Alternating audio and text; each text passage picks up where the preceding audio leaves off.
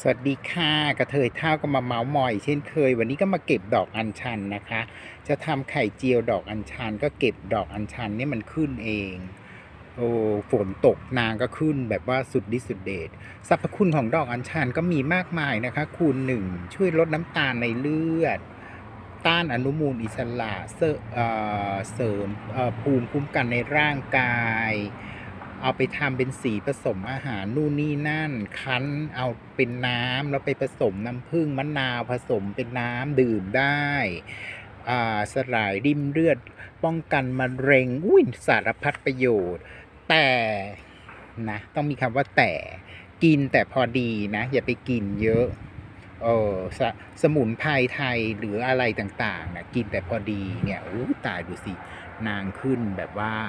เลื้อยสุดฤทธิ์ตอนนี้หน้าฝนนะคะ คุณยุงก็เยอะระวังยุงลายโดยฉันเข้ามาในสวนนี่ยุงกัดขาฉันนี่ก็อย่างที่บอกอะค่ะ กินอะไรก็กินแต่พอดีอย่าไปกินเยอะนะคะ ก็ไม่มีอะไรมากมายนะคะ ก็มาลงคลิปแค่นี้ละค่ะดอกอัญชันจะจะเอาไปเจียวไข่อร่อยริศๆ ถ้ามีดอกสโหนก็จะเจียวไข่กับดอกสโหนประมาณเนี้ยไข่เจียวดอกสโหนไข่เจียวดอกอัญชันนะคะ ขอบคุณมากค่ะที่ชมคลิปสวัสดีค่ะ